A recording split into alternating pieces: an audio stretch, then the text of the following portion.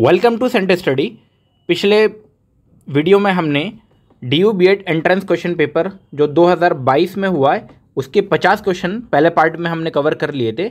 अब हमें आगे के 50 क्वेश्चन सॉल्व करने तो आइए स्टार्ट करते हैं हम क्वेश्चन नंबर 31 से। 20 क्वेश्चन हमारे जो थे 10 पैसेज के और 10 इंग्लिश के पैसेज और 10 हिंदी के पैसेज के तो 30 हमने जनरल क्वेश्चन सॉल्व किए थे। तो अब ये 31 से स्टार्ट है। यानी कि आपका क्वेश्चन नंबर ये फिफ्टी वन हो जाएगा। To which region is the Dochala and Chauchala style of temple architecture related मंदिर स्थापित कला की दो चाला और चौचाला शैली का संबंध किस क्षेत्र से है? पहला ऑप्शन है राजस्थान, उड़ीसा, बंगाल या Tamil Nadu.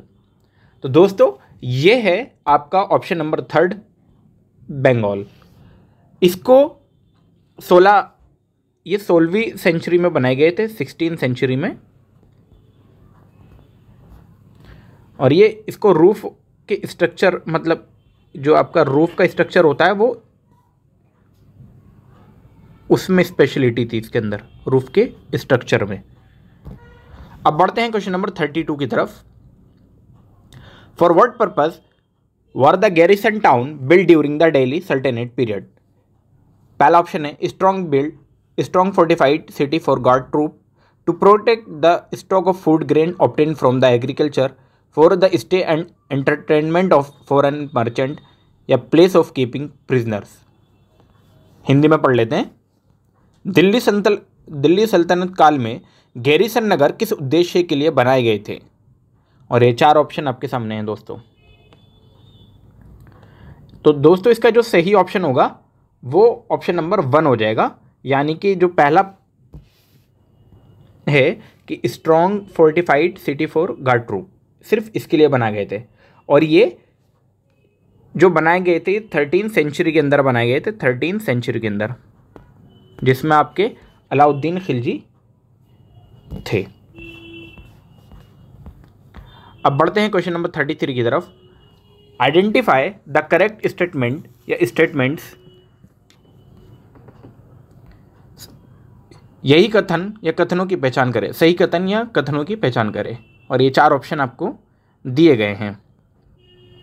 When all adult are given to right to vote it is called universal adult franchise representative democracy is where people do not elect their representative यानी कि इसका मतलब ये हुआ कि यहाँ पर हमें पहला, हमें करेक्ट स्टेटमेंट बतानी है। तो when all adult are given to right to vote it is called universal adult franchise तो दोस्तों, पहला स्टेटमेंट बिल्कुल ठीक है।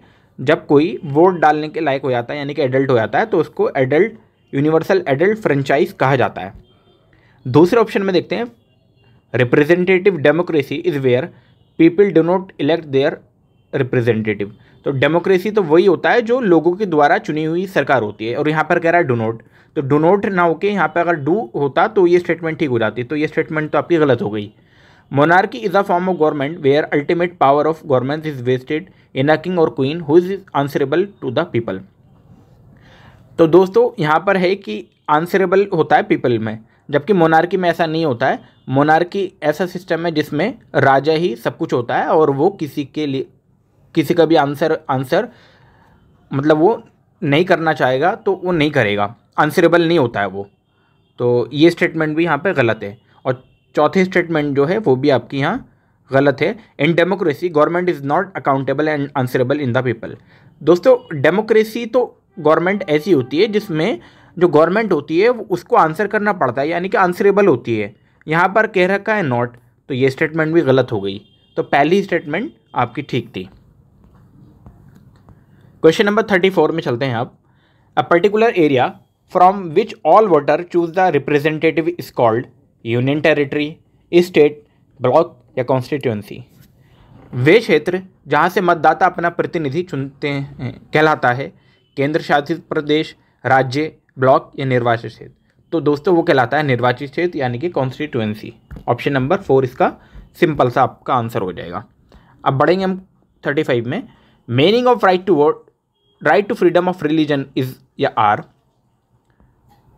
freedom of conscience and free profession practice and propagation of religion बिल्कुल सही है दोस्तों ये वाला। आपका पहला स्टेटमेंट तो आपका बिल्कुल ठीक हो गया। यानी कि किसी भी फ्रीडम होगी, आपकी कोई भी रिलीजन की प्रैक्टिस करने की या प्रोफेशन की। और freedom to manage religious affair ये भी ठीक है आपका। Freedom to pay tax for promotion of religion दोस्तों ये भी ठीक है आपका। और आपका freedom to attend attend religious instruction और worship in certain educational institution तो बिल्कुल जैसे बहुत सारे रिलीजियस uh, इंस्टीट्यूशंस बनाए जाते हैं जहाँ पर रिलीजियस की पढ़ाई होती है तो वहाँ पर आप फ्रीडम हैं कोई भी जा सकता है। तो इसके चारों ही ऑप्शन ठीक है।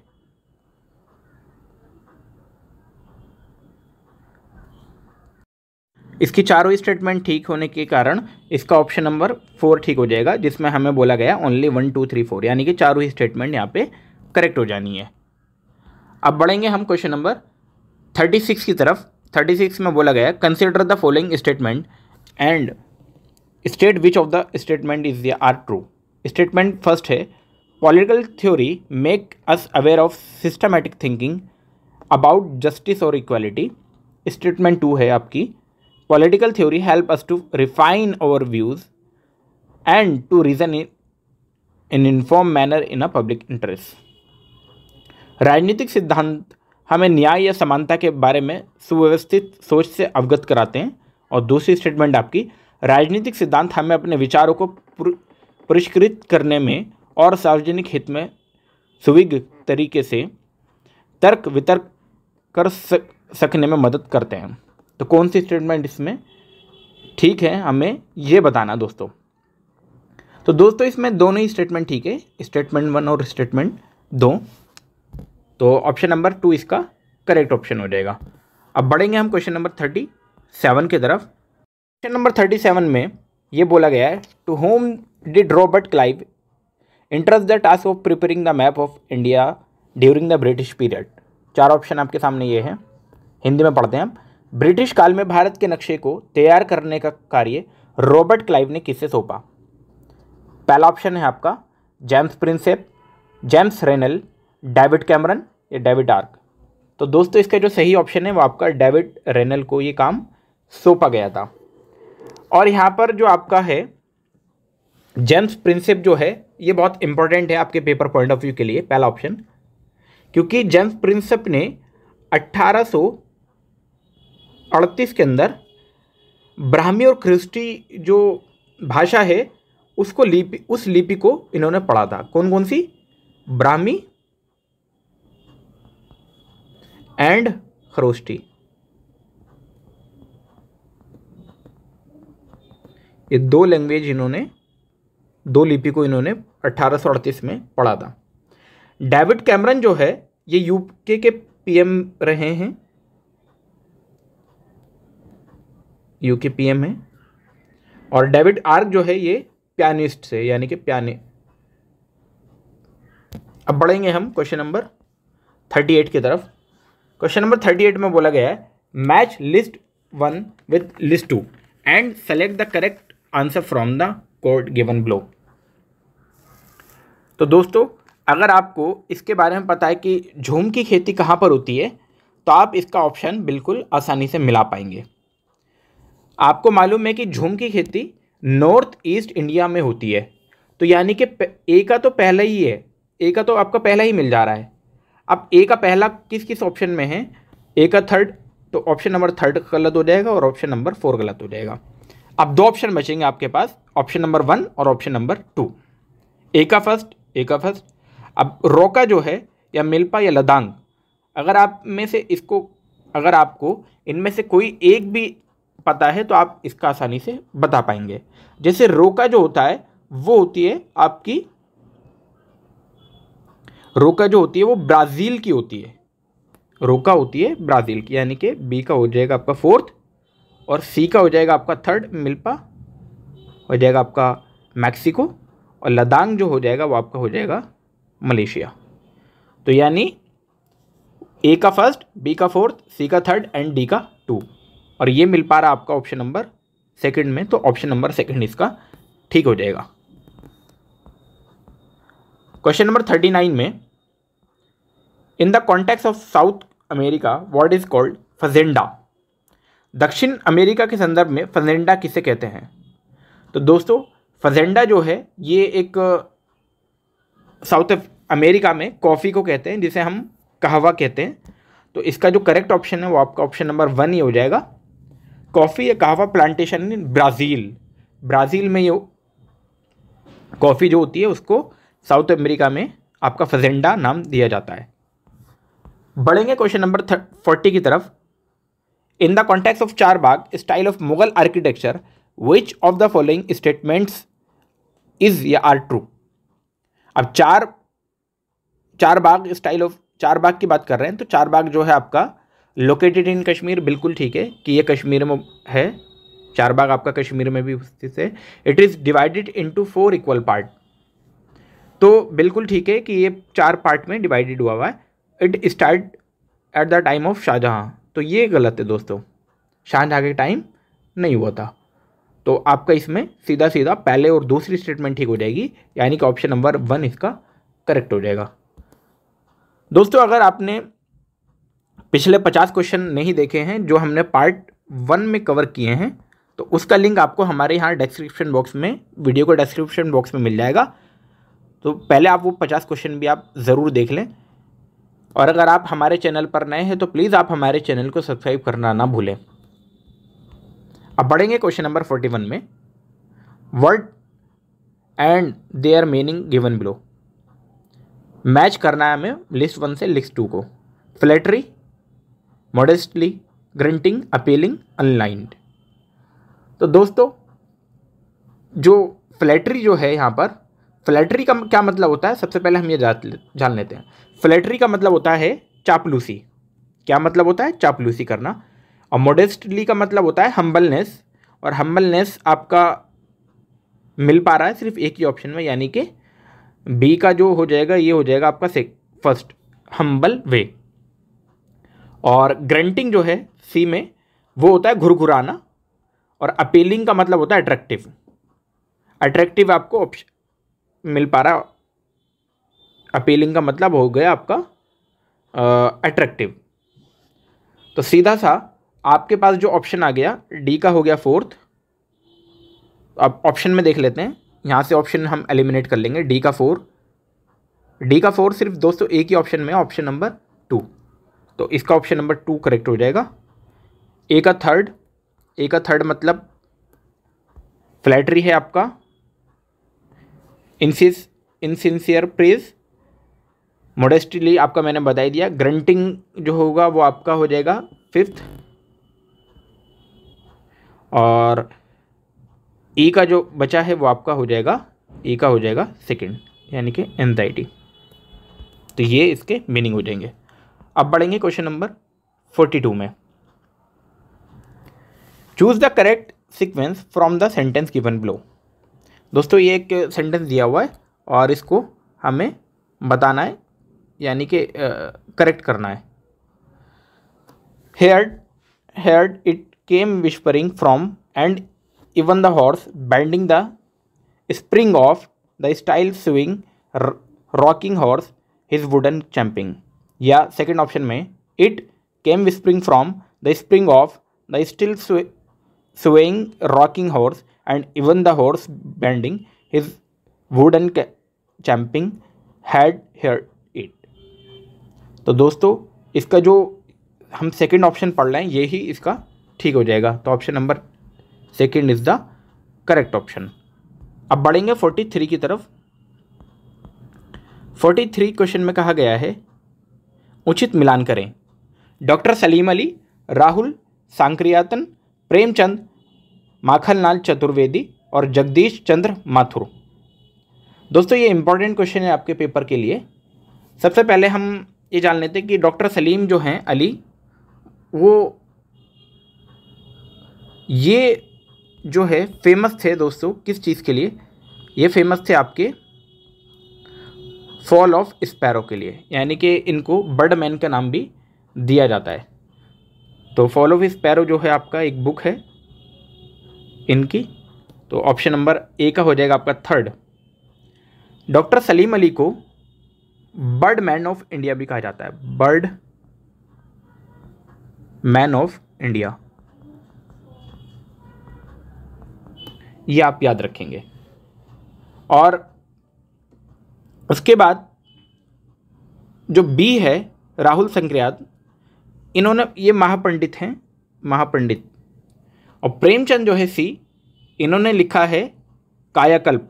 और सी का हो जाएगा आपका फोर। और माखनलाल चतुर्वेदी जो है डी, इन्होंने लिखा है कैदी और कोकिला।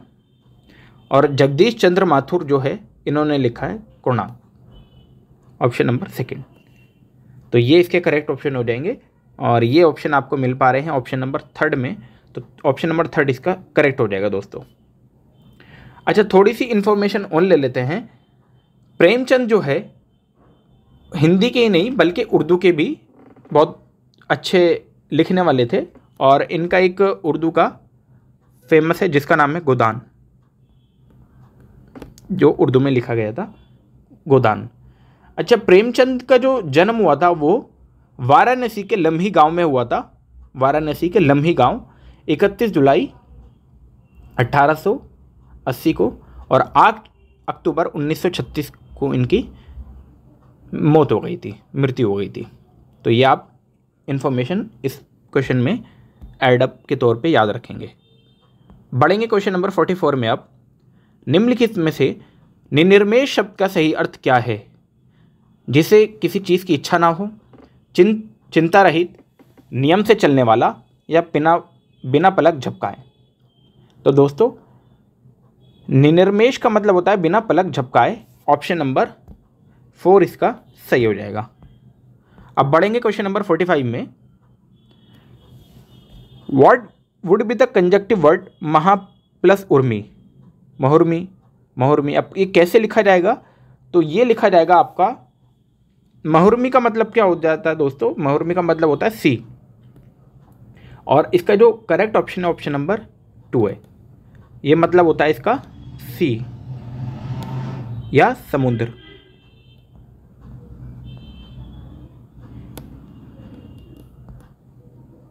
अब बढ़ेंगे क्वेश्चन नंबर फोर्टी सिक्स में।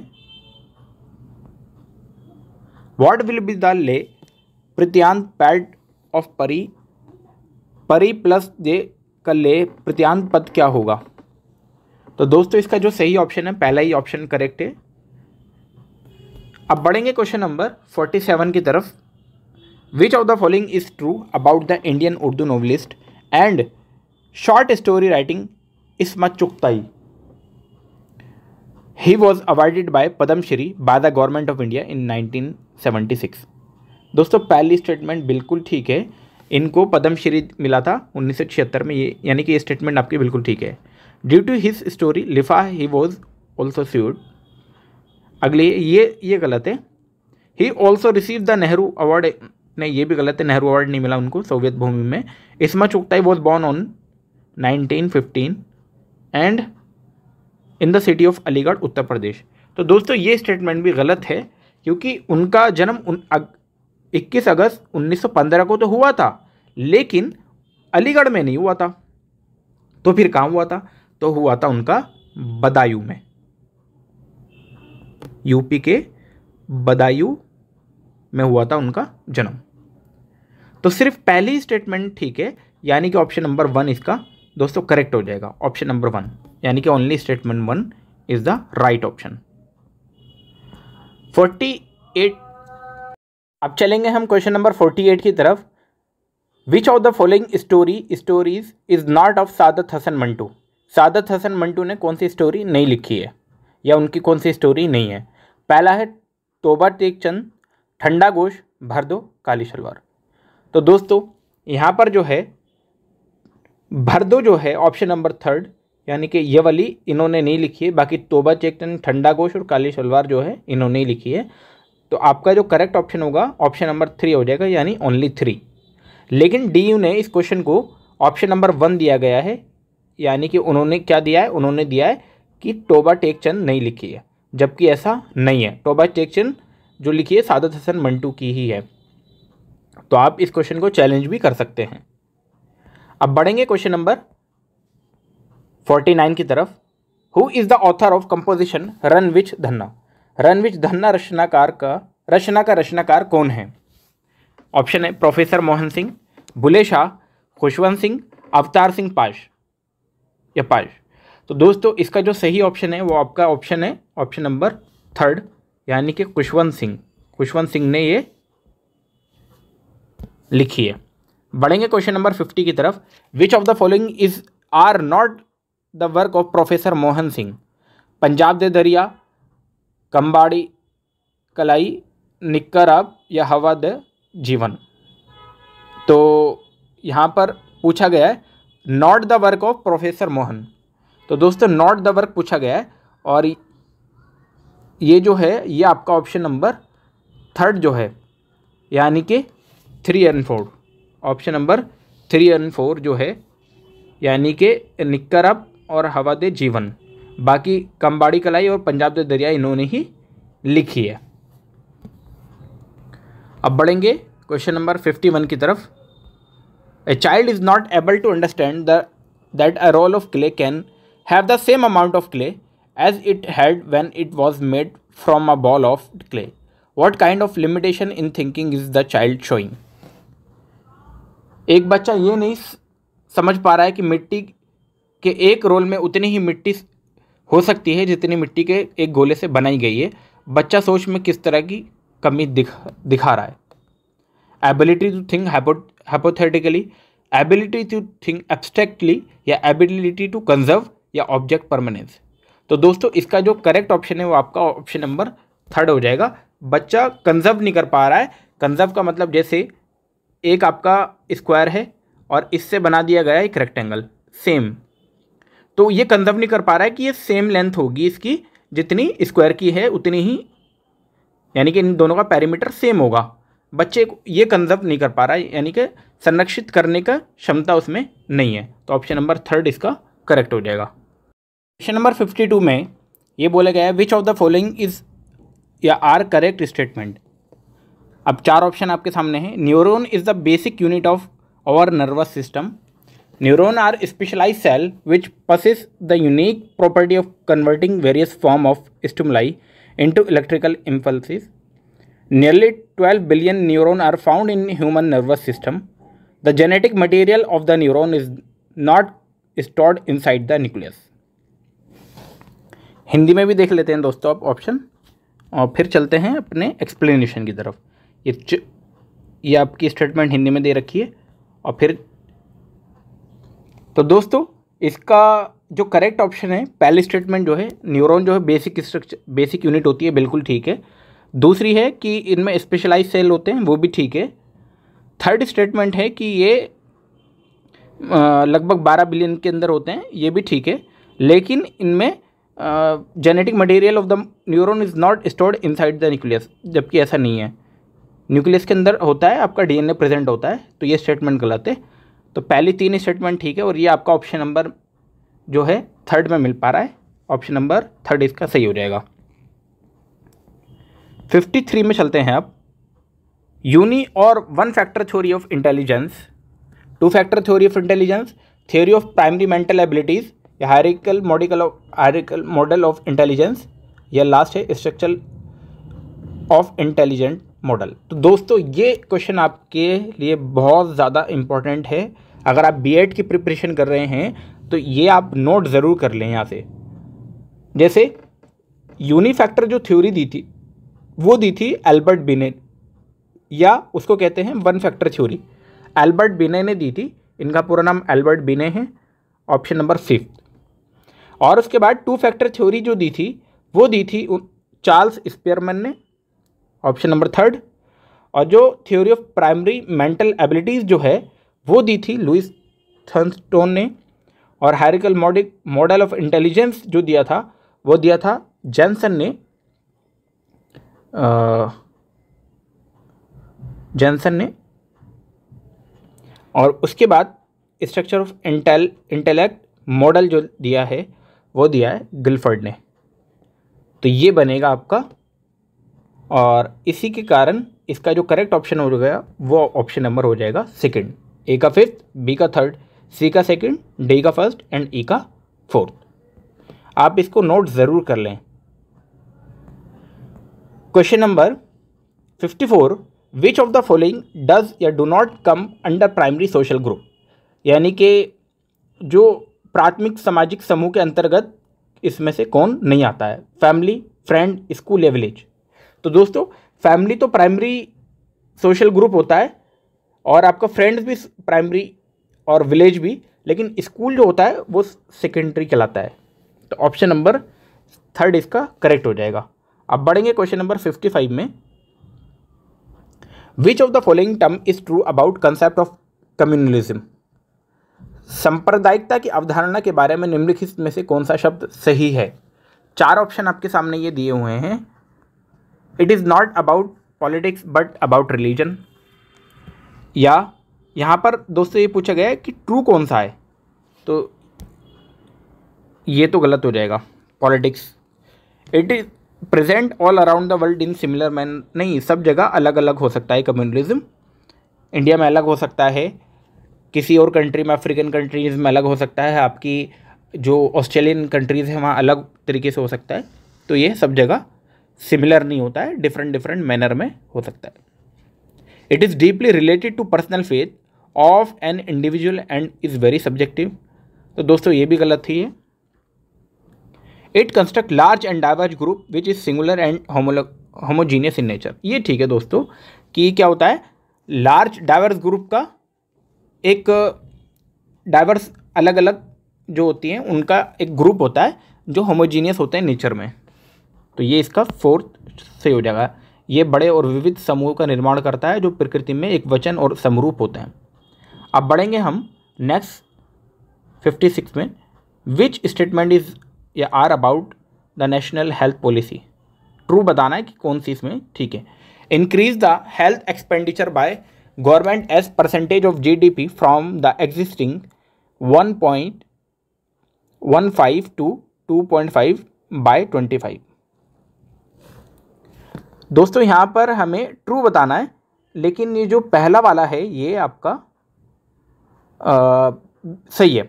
ये स्टेट ये स्टेटमेंट बिल्कुल ठीक है पहली वाली आपकी ये हो गई आपकी सही। जो सेकंड है increase life expectancy at birth sixty seven point five to seventy by two thousand twenty twenty दोस्तों ये स्टेटमेंट अगर ठीक हो जाता अगर ये 2022 की जगह 2025 देता यहाँ पर 2025 होना चाहिए था। तो इसलिए सेकंड वाली स्टेटमेंट आपकी हो गई गलत। सेकंड स्टेटमेंट आपकी हो गई गलत। जो थर्ड स्टेटमेंट है कि D A L Y index is measure of burden of disease and its trend by major categories by 2025 दोस्तों, ये स्टेटमेंट भी आपकी गलत है, क्योंकि ये 22 नहीं यहाँ पर बाई यहाँ पर होना चाहिए था 22 यहाँ होना चाहिए था एक्चुअल में 22 25 नहीं होना चाहिए था। तो ये सही हो जाती। और ये जो है आपका reduce neonatal neonatal mortality to 16 and still birth rate to single digit by 2025 ये स्टेटमेंट आपकी ठीक है। यानी कि आपकी दो स्टेटमेंट ठीक निकल गई यहाँ से, पहली और चौथी। और पहली और चौथी जो मिल पा रही है, वो ऑप्शन नंबर थर्ड में है तो ऑप्शन नंबर थर्ड इसका सही हो जाएगा। अब बढ़ेंगे हम क्वेश्चन नंबर 56 में। 56 के बाद 57 में Indian railway Indian railway is an example of which of the following business organisation भारतीय रेलवे निम्नलिखित में से किस व्यवसायिक संगठन का उदाहरण है? तो दोस्तों, ये है आपका डिपार्टमेंटल अंडरटेकिंग विभागीय उपक्रम। ऑप्शन नंबर थर्ड इसका सही हो जाएगा। 58 में चलते हैं। Which One of the following statement is are appropriate in case of economic environment of a business. Money supply in economy, internal and external public and debt plan outlay in private and public sector, rate of saving and investment volume of import and export of different item, life expectancy, population shift, money supply in the economy, agriculture and industrial population trend rate of saving and investment तो दोस्तों, यहाँ पर हमें क्या बताना है कि which one of the statement is appropriate in case of appropriate बताना है, यानी कि कौन सी यहाँ पे ठीक होगी। व्यवसाय के आर्थिक वातावरण के मामले में निम्नलिखित में से कौन सा कथन उपयुक्त है? अब ये चार स्टेटमेंट हैं। अब इसके अकॉर्डिंगली जो करेक्ट ऑप्शन होगा दोस्तों 57 का, जो करेक्ट 58 का जो करेक्ट ऑप्शन हो जाएगा, वो ऑप्शन नंबर वन ही हो जाएगा। पहली स्टेटमेंट भी ठीक थी और दूसरी भी ठीक थी और चौथी भी ठीक थी। तीसरी स्टेटमेंट आपकी गलत है और ये ऑप्शन नंबर वन हो जाएगा। फिर बढ़ेंगे 59 में। The document prepared and sign the sign by master of ship acknowledge the receipt of good in board bill of lading bill of entry sight of draft या डॉक चलान। तो दोस्तों ये कहलाएगा bill of loading. Option number one इसका सही हो जाएगा। लदान बिल। सिक्सटी में चलते हैं अब। The partner who do not take part in day to day activities of a business is known as dormant partner, active partner partner by estoppel या पार्टनर इन प्रॉफिट। वे भागीदार जो किसी व्यवसाय की दिन प्रतिदिन की गतिविधियों में भाग नहीं ले, नहीं लेता है डैश के रूप में जाना जाता है। निष्क्रिय भागीदार, सक्रिय भागीदार एस्टोपेल द्वारा भागीदार या लाभ में भागीदार। तो दोस्तों, इसका जो, वो कहलाता है डोरमेंट पार्टनर या इसको एक और नाम से जाना जाता है, उसका नाम है स्लीपिंग पार्टनर स्लीपिंग पार्टनर। ये एक्टिव नहीं रहता है इसलिए इसको डोरमेंट या स्लीपिंग पार्टनर के रूप में जाना जाता है। अब क्वेश्चन नंबर सिक्सटी के बाद सिक्सटी वन में चलते हैं। What will be the what will come next in series अगले में क्या आएगा? तो दोस्तों, देखते हैं। टू वन फिर वन बाई टू फिर वन बाई फोर फिर वन बाई एट आप यहाँ से सीधा देख पा रहे हो, पहले है दो, फिर है एक, और फिर है वन बाई टू और फिर है वन बाई फोर और फिर है वन बाई एट तो दो यहाँ हाफ़ हुआ फिर वन का हाफ़ हुआ वन बाई टू और फिर वन बाई टू का भी हाफ़ हुआ वन बाई फोर कैसे होगा वन बाई टू का भी वन बाय हाफ़ तो ये वन बाई फोर आ गया और वन बाई फोर का जब हाफ़ करोगे तो वन बाई एट आएगा तो आंसर क्या हो जाएगा वन बाई एट का भी हाफ़ तो हाफ़ जब करोगे तो कितना आएगा one by sixteen one by sixteen is the correct option अब बढ़ेंगे हम नेक्स्ट क्वेश्चन की तरफ़। नेक्स्ट क्वेश्चन देखते हैं। नेक्स्ट क्वेश्चन में क्या बोला गया है? Fill the blank fill the blank in the middle of the series के C D K C D अगला है एल ई एफ़ फिर है एम जी एच फिर है डैश फिर है ओ के एल तो के यहाँ से आप देख पा रहे हैं दोस्तों सी के बाद डी फिर डी के बाद ई e आएगा, फिर एफ़ आएगा। एफ़ के बाद आता है जी तो जी ये रहा और एच ये रहा। तो इसका मतलब यहाँ आएगा आई और जे और फिर जे के बाद आता है के एल ये मिल पा रहा आपको। अब एक स्टेट, उससे पहले एक ढूंढना है, और ढूँढने की भी ज़रूरत नहीं है। अगर आप आई जे निकाल पा रहे हैं तो आई जे सिर्फ़ दो ऑप्शन में है। ये कट जाएगा और ये कट जाएगा। इसमें देख लेना है, पहला और तीसरे में से कौन सा ठीक होगा। आप ये देख पा रहे हैं के के बाद आता है एल एल के बाद आता है एम तो एम के बाद क्या आएगा? एम के बाद आएगा एन तो एन आई जे यानी कि ऑप्शन नंबर इसका थर्ड हो जाएगा सही। अब बढ़ेंगे क्वेश्चन नंबर सिक्सटी थ्री में। Select the correct pattern of symbol in the below sequence of symbol तो ये एक पैटर्न आपको नज़र आ रहा है। थोड़ा सा मैं यहाँ जूम किए देता हूँ इस चीज़ को। ये पैटर्न आप देख पा रहे हैं। तो पहले यहाँ पर दो ट्राइंगल है। ये दो ट्राइंगल और फिर बीच में था आपका स्क्वायर जो बीच वाला है, वो नेक्स्ट बार दोनों साइडों में लग गया। अब की बार ये जो सर्कल है, ये बीच में था तो सर्कल दो बार आ गया बीच, दोनों साइडों में। अब की बार ये है आपका साइड में, बीच में तो ये एक इधर साइड आ गया, इधर भी यही साइड आनी थी। तो आपका ऑप्शन नंबर इसके क्या हो जाएगा? मतलब ऑप्शन नंबर इसका वन ठीक हो जाएगा, ये वाला। इसके बाद दोस्तों हम बढ़ेंगे सिक्सटी फोर में। Find the word that names a necessary part of underline word faculty अब फैकल्टी जो बोलते हैं faculty meeting hall faculty audio visual aid faculty teachers या फैकल्टी टेक्स्ट बुक तो आप ये रेगुलर बेसिस पे भी जानते हैं कि फैकल्टी टीचर्स होता है। तो यहाँ पर teacher is the correct option हो जाएगा फैकल्टी टीचर्स फिर उसके बाद sixty five identify the value of X Y and Z in the below box चार, छः, चार, पाँच, छः, सोलह, बीस, चौबीस, उसके बाद चार सौ सोलह, पाँच सौ बीस, छः सौ चौबीस और जेड तो दोस्तों, यहाँ पर ये एक बढ़ रहा है, फिर पाँच से छः तो छः से आएगा यहाँ पे सात. अब सात सभी ऑप्शन में तो ठीक है, अब आगे बढ़ जाते हैं हम। यहाँ से ये चार बढ़ रहा है, फिर यहाँ से ये चार बढ़ रहा है तो यहाँ से भी ये चार बढ़ेगा तो यहाँ आ जाएगा अट्ठाईस। और अट्ठाईस सिर्फ़ एक ही ऑप्शन में है ऑप्शन नंबर थर्ड बाकी आपको चेक करने की ही ज़रूरत नहीं है। अगर आप फिर भी चेक करना चाहें तो चेक कर सकते हैं। डिफरेंस लेकर ऐड कर लेंगे तो जेड आ जाएगा आपका seven two eight seven two eight तो करेक्ट ऑप्शन है आपका ऑप्शन नंबर थर्ड उसके बाद सिक्सटी सिक्स में what will be the measure of the acute angle form between the hour end and minute hand at 6:45 am 6:45 में acute angle कितना बनेगा? तो जब भी इस टाइप से क्वेश्चन आए तो आपको एक फॉर्मूला याद रखना है कि एंगल बराबर angle is equal to eleven by two into minute. यानी कि इलेवन बाई टू को मिनट से करेंगे मल्टीप्लाई और थर्टी को करेंगे एच से। और इन दोनों का ले लेंगे आप मैग्नीट्यूड। मैग्नीट्यूड ले लेंगे इन दोनों का। तो यहाँ पर इलेवन बाई टू और मिनट है आपका पैंतालीस और ये है थर्टी और छः बज रहे थे। पैंतालीस मिनट थे तो पैंतालीस लिख दिया और छः घंटे थे। छः बज के पैंतालीस मिनट और छः लिख दिया। जब इसको सॉल्व करेंगे दोस्तों तो सॉल्व करने के बाद ये आएगा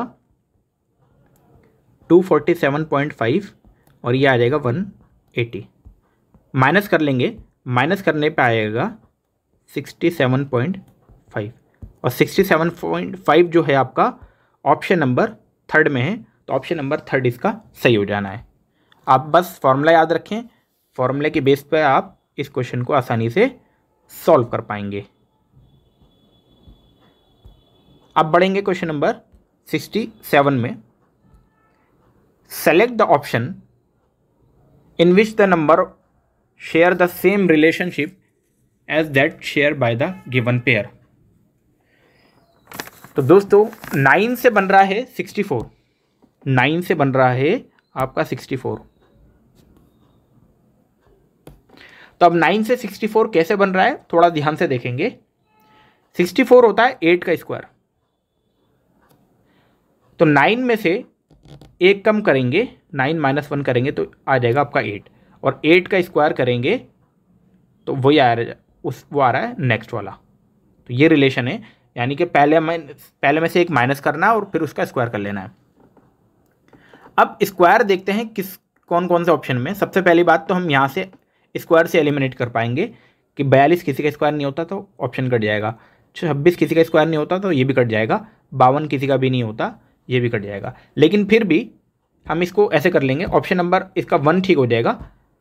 लेकिन इसका अगर हम फिर भी करना चाहें तो आठ और फोर्टी नाइन कैसे है एक दूसरे से लिंक आठ में से माइनस करो एक तो कितना आएगा? आठ माइनस एक करोगे तो यह आएगा सेवन और सेवन का स्क्वायर करोगे, ये आएगा फोर्टी नाइन तो ऐसे लिंक हो जाएगा। फिर बढ़ेंगे क्वेश्चन नंबर सिक्सटी एट में। Direction in this given below is given statement followed by two conclusion number one and number two you have to assume everything in the statement to be true then consider the two conclusion together and decide which of them logically follows beyond a reasonable doubt from the information given in the statement यानी कि हमें दो हमें statement दी हुई है और पूरी statement को हमें ठीक मान लेना है। और ठीक मानने के बाद दो कंक्लूजन दिए हुए हैं। दोनों कंक्लूजन पर हमें बताना है कि कौन सी कंक्लूजन फॉलो करेगा। तो स्टेटमेंट है the T V programme telecast specially for women are pack with a variety of recipe and household hint a major portion of magazine for women also contain the item mention above अब option conclusion में है women are not interested in other thing तो ऐसा तो कहीं लिखा हुआ ही नहीं था कि वुमेन कहीं और इंटरेस्टेड नहीं होती है तो पहला कंक्लूजन आपका गलत हो जाना है। दूसरा है an average woman primary interest lies in home and specially in the kitchen ये बिल्कुल ठीक है, इसके अकॉर्डिंग कि जो एवरेज वुमन होती है, वो इंटरेस्ट करती है किसके? घरों में और स्पेशली किचन में। तो सिर्फ़ सेकंड स्टेटमेंट है, वो फॉलो कर रहा है तो ऑप्शन नंबर सेकंड इसका ठीक हो जाएगा। हिंदी में आप क्वेश्चन इस तरीके से देख पाएँगे यहाँ पे ये और फिर स्टेटमेंट आपकी ये हो गई कंक्लूजन अब बढ़ेंगे क्वेश्चन नंबर सिक्सटी नाइन में। दोस्तों, ये थोड़ा सा ट्रिकी क्वेश्चन है, लेकिन बहुत अच्छा क्वेश्चन यहाँ पे दिया हुआ है। Person A said to lady in a car the only daughter of the brother of my wife is the sister in law of brother of your sister how the husband of the lady is related to person A एक एक व्यक्ति ने car में बैठी एक महिला से कहा मेरी पत्नी के भाई की इकलौती बेटी तुम्हारी बहन के भाई की साली है। महिला का पति ए व्यक्ति से किस प्रकार संबंधित है? अब चार ऑप्शन आपके सामने मैटरनल अंकल अंकल फादर या सन इन लॉ तो दोस्तों, हम इस क्वेश्चन को बहुत अच्छे से थोड़ा सा डिटेल में सॉल्व करेंगे, क्योंकि ये क्वेश्चन बहुत अच्छा पूछा गया। यहाँ पर सबसे पहले हम पीछे से एक अनुपम है तो अनुपम को मैं लिख देता हूँ ए अनुपम को मैं लिख देता हूँ A N U P A M Anupam.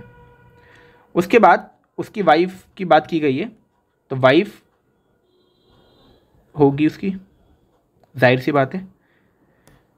और वा, वाइफ के भाई की बात की गई यहाँ पर आप देख पाएँगे मेरे पत्नी के भाई की। तो मेरे पत्नी मतलब अनुपम की पत्नी और उसके भाई उसके भाई होगा कुछ यहीं पर तो उसका ब्रदर की इकलौती बेटी तो ब्रदर की इकलौती बेटी हुई डॉटर अच्छा दोस्तों, यहाँ पर ये स्टेटमेंट आई है कि इकलौती बेटी की बात की गई है, यानी कि ये सिर्फ़ इकलौती बेटी है, बाकी सन हो सकता है। ओनली डॉटर ये।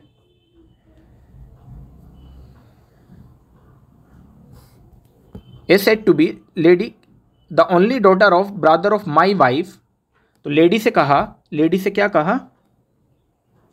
लेडी से ही कहा कि ये लेडी हो गई। कि उसकी जो बहन है, यानी कि उसकी सिस्टर लेडी की सिस्टर के भाई, उसका भाई मतलब ब्रो हो गया। कि इकलौती सिस्टर इन लो है ये।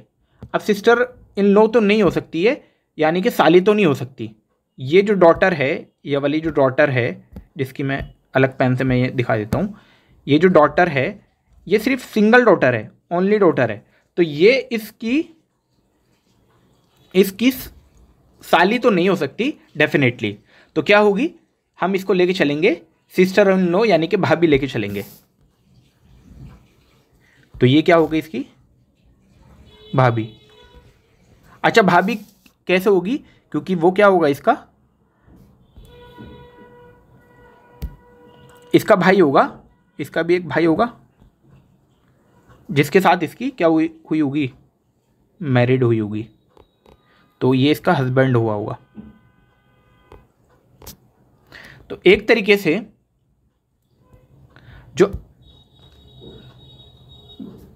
डॉटर जो हुई लेडी की जो डॉटर हुई, वो एक तरीके से क्या हुई? ननद कहते हैं शायद। तो ननद हुई। ब्रादर जो हुआ लेडी का जो ब्रादर हुआ, उसका हस्बैंड हो गया डॉटर का। और तो इस तरीके से आप ये यहाँ से रिलेशन निकाल पाओगे कि ये जो ब्रादर है, अनुपम की वाइफ के भाई का क्या हुआ? दामाद हुआ। तो इस तरीके से आप वाइफ का भी दामाद हुआ और इसका जो हस्बैंड है। किसकी? लेडी का जो हस्बैंड है, उसका रिलेशन बताना है अनुपम के साथ। तो ब्रादर ब्रादर जो है, जो इसका हस्बैंड है लेडी का, वो अनुपम का भी क्या होगा? दामाद ही होगा। इस तरीके से देखेंगे। इस क्वेश्चन को हम थोड़ा सा ट्रिकी है फिर भी आपको कोई डाउट आए तो आप आप हमें कमेंट बॉक्स में पूछ सकते हैं। हम वहाँ पर आपको एक्सप्लेन कर देंगे। तो ऑप्शन फोर इसका ठीक हो जाएगा, दामाद होगा। सबसे पहले हमने इस क्वेश्चन में क्या किया दोस्तों? दो अलग अलग स्टेटमेंट को एक जगह कनेक्ट किया। कनेक्ट करने को ही इस क्वेश्चन में इंपॉर्टेंट यही था कि इस क्वेश्चन को हम कनेक्ट कर पाएँ दोनों स्टेटमेंट के। तो ये थोड़ा सा टाइम कंज्यूमिंग क्वेश्चन था। ऐसे क्वेश्चन अगर पेपर में आए तो आपको अवॉइड करने चाहिए, क्योंकि ये क्वेश्चन आपके पेपर में टाइम ज़्यादा ले लेते हैं और फिर आगे वाले क्वेश्चन आप छोड़ देते हैं। अगर आप डी यू एंट्रेंस की प्रिपरेशन कर रहे हैं तो आप हमारे चैनल पर अगर नए हैं तो प्लीज़ आप हमारे चैनल को सब्सक्राइब ज़रूर करें और आने वाली डी यू की वीडियोस के लिए बेल आइकन को भी ज़रूर दबाएँ। अब बढ़ेंगे हम नेक्स्ट क्वेश्चन की तरफ़। Village Q is the north of village P and village R is the east of village Q and village S is the left of village P, in which direction is the village S with respect to village R. तो दोस्तों, यहाँ से हम इस तरीके से लेते हैं।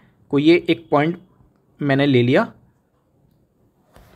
जो विलेज पी है, ये विलेज पी ले लिया मैंने। तो विलेज आर जो है क्यू जो है वो नॉर्थ में है यानी कि ऊपर की साइड है। तो ये क्यू हो गया आपका। और जो आर है, वो कहाँ है? ईस्ट में है। तो ईस्ट आपका इधर होगा तो ये होगा आपका आर और जो विलेज एस है, वो पी के लेफ़्ट में है, यानी कि इधर है, कहीं पर। तो पूछ रहा है तो ये पूछ रहा है आपसे कि in which direction is village S with respect to R तो ये होगा ये डायरेक्शन तो ये आपका क्या होगा? नॉर्थ साउथ ईस्ट वेस्ट तो ये हो जाएगा आपका ऑप्शन इसका हो जाएगा साउथ वेस्ट यहाँ से आप देख पाएँगे साउथ वेस्ट इसका करेक्ट ऑप्शन हो जाएगा यहाँ से. ये साउथ वेस्ट आएगा यहाँ से। तो ऑप्शन नंबर सेकंड इसका करेक्ट हो जाएगा। अब बढ़ेंगे क्वेश्चन नंबर सेवेंटी वन में। मैच करना है यहाँ पे। दिल बोले हड़िप्पा, फ्रीकी अली, गोल्ड, साला खड़ूस और दंगल। तो दंगल जैसे कि आपको मालूम ही है, दंगल जो थी, ये रेसलिंग के ऊपर थी तो ऑप्शन नंबर दंगल का हो जाएगा सेकंड फ्रिकी अली जो थी आपकी गोल्फ के ऊपर थी, जिसमें नवाजुद्दीन सिद्दीकी ने रोल निभाया था। तो ये आपका हो जाएगा फोर। और दिल बोर्ड हड़िप्पा जो है, ए ऑप्शन जो है, वो क्रिकेट के ऊपर बेस्ड थी तो ये हो जाएगा आपका फिफ्थ। गोल्ड जो है, ऑप्शन सी जो है, ये हॉकी के ऊपर थी। और फिर साला खड़ूस जो है, वो आपकी जो है, डी ऑप्शन जो है, वो थर्ड ऑप्शन हो जाएगा, यानी कि बॉक्सिंग के ऊपर। तो इसीलिए क्वेश्चन नंबर इसका सेकंड ऑप्शन ठीक हो जाएगा। सेवेंटी टू में चलते हैं।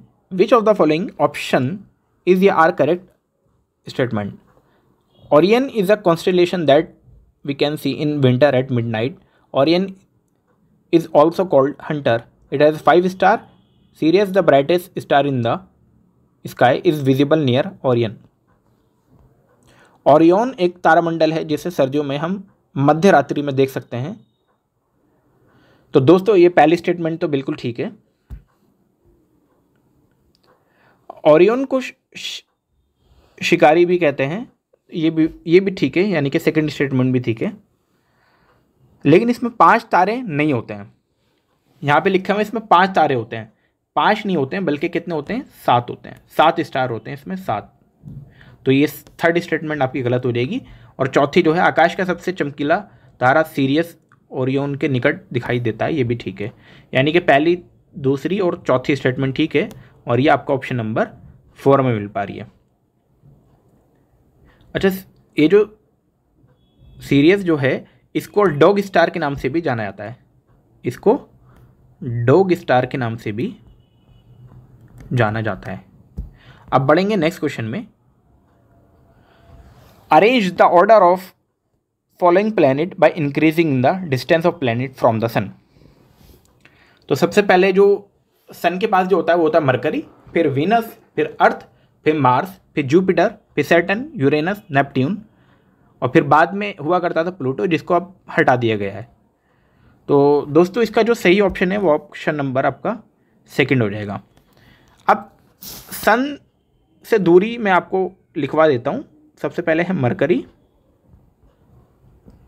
उसके बाद है वीनस, फिर है आपका अर्थ, और उसके बाद है मार्स, फिर है Jupiter. Mercury, Venus, Earth, Mars, Jupiter, फिर है सैटन फिर यूरेनस, और लास्ट है आपका नेपट्यून तो ये आप याद रखेंगे। Seventy four. Who was the bronze medallist in archery at Tokyo para Olympic Sharad Kumar, Avani Lekhara Harvinder Singh या कृष्णा नारंग? तो ये मिला था दोस्तों हरविंदर सिंह को ऑप्शन नंबर थर्ड इसका ठीक हो जाएगा 2020 में। ये फ़र्स्ट इंडियन बन गए थे आर्चरी में, पैरा ओलंपिक में मेडल जीतने वाले, first Olympic. First Indian to win a medal in archery at para Olympic. अच्छा शरद जो हैं, पहला ऑप्शन जो है, इन्होंने ब्रोंज जीता टोक्यो 2021 के अंदर। टोक्यो हाई जंप के अंदर इन्होंने जीता। High jump. और अवानी लिखारा जो है, ये जो सेकंड है, ये बहुत इंपॉर्टेंट है आपके पेपर के लिए। ये फ़र्स्ट इंडियन है फ़र्स्ट इंडियन वुमन है। First Indian woman to win two Paralympic two Paralympic medal यानी कि इन्होंने दो पैरालंपिक मेडल जीते हैं। और पहली इंडियन बन गई थी दो पैरालंपिक जीतने वाली। किसमें पचास मीटर राइफल के अंदर। और कृष्णा नागर जो है, ऑप्शन नंबर जो फोर है, इन्होंने प्रमोद भगत के साथ मिलकर, प्रमोद भगत के साथ मिलकर जॉइंट विनर रहे थे पैरा बैडमिंटन में 2021 के अंदर। तो 2021 की करंट अफेयर 2022 में पूछी गई है। At time of India sport award TOISA ये बने थे टोयसा के अंदर. टी इसकी फुल फॉर्म में Times of India Times of India sport award Times of Times of India sport award TOISA TOISA में इन्होंने प्रमोद भगत के साथ मिलकर जॉइंट विनर ये रहे थे. अब बढ़ेंगे क्वेश्चन नंबर सेवेंटी फाइव में which statement is true among the following the ratio of length to height width of flag is three ratio two आगे है the ratio of length to the height width of flag is two ratio three या फिर आगे है the ratio of length to the height width of the flag is three ratio three last option है the ratio of length to the height of width of the flag is four ratio three तो दोस्तों, जो flag होता है हमारा, इसकी जो length होती है, वो जितनी भी होगी, वो तीन गुना, जैसे उसकी तीन होगी और वो आपकी ब्रेथ होगी दो। यानी कि तीन रेशो दो में वो लिया जाएगा, तीन रेशो दो में। तो ये आप याद रखेंगे ऑप्शन नंबर वन इसका करेक्ट हो जाएगा। फिर बढ़ेंगे next question which of the this revolt took place against agrarian system of Mughal.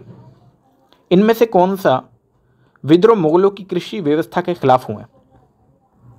Jat revolt Satnami revolt Naga revolt yes सामयान सामयांसी रिवोल्ट तो दोस्तों इसमें जो जाट रिवोल्ट है और नागा रिवोल्ट है ये दोनों जो आ, सतनामी और जाट रिवोल्ट जो है ये जो हुए थे ये हुए थे।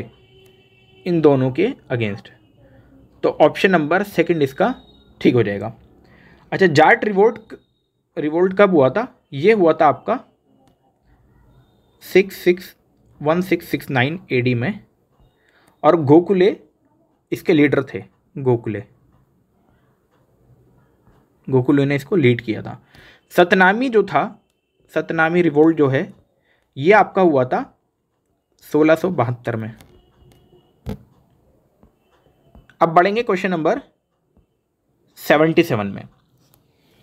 Two statement are given below statement one Haryana emerge as the most successful team at the Khelo India youth games 2021 statement two a total of 25 team from all state and union territory of India to part in Khelo India youth game Hindi में पढ़ लेते हैं। और Khelo India youth game 2021 में हरियाणा सबसे सफल team के रूप में उभरा।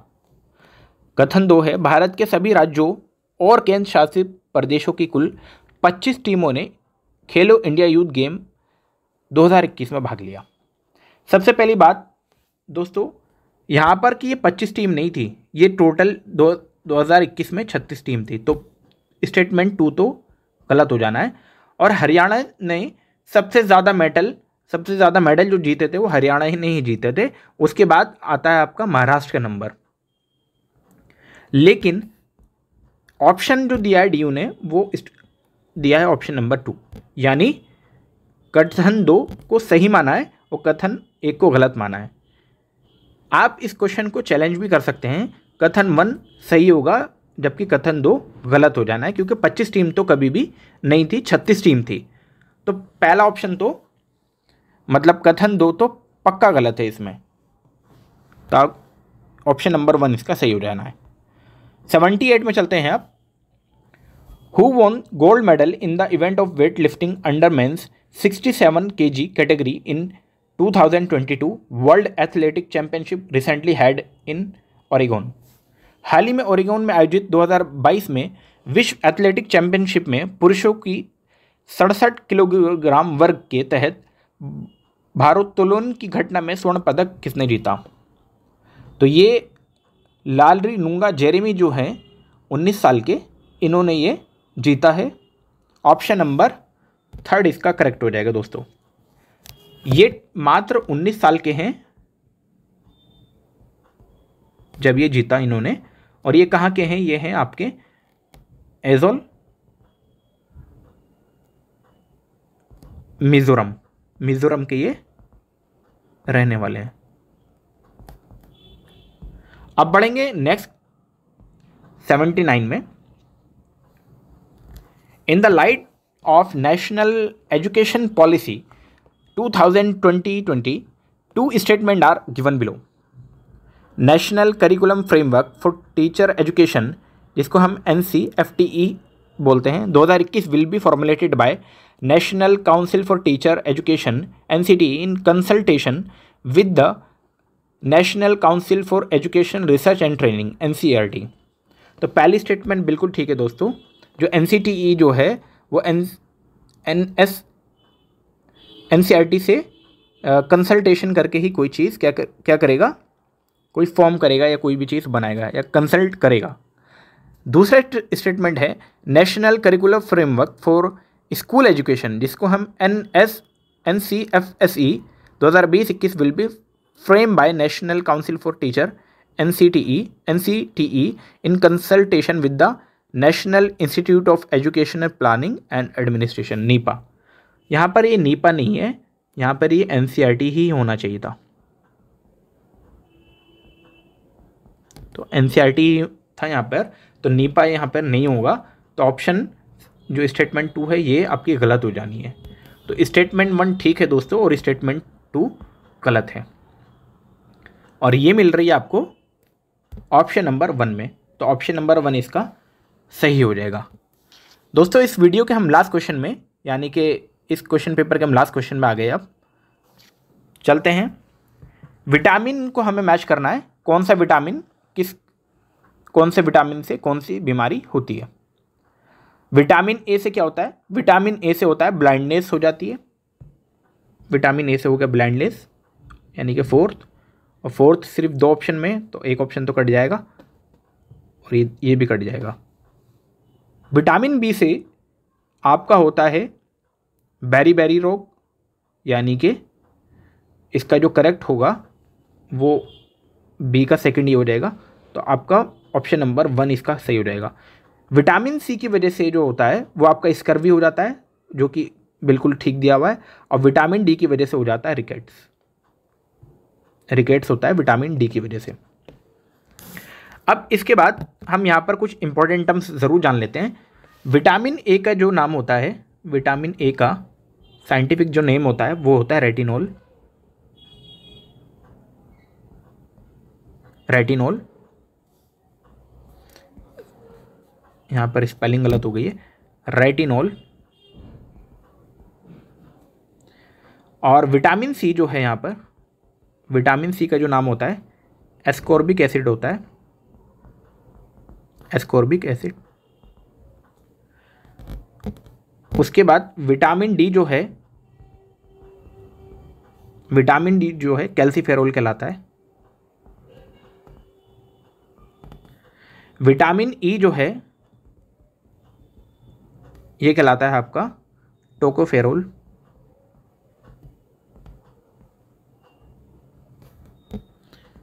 और ये जो विटामिन के जो होता है, एक होता है विटामिन के, ये कहलाता है।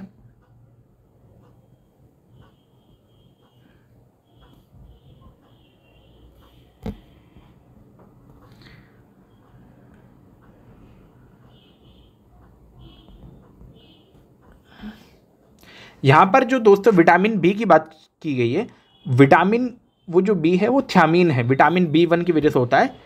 आपका बैरी बैरी जो रोग है, वो होता है विटामिन बी वन की वजह से। और विटामिन बी वन का जो नाम है विटामिन बी वन का जो नाम है, वो है आपका थियामीन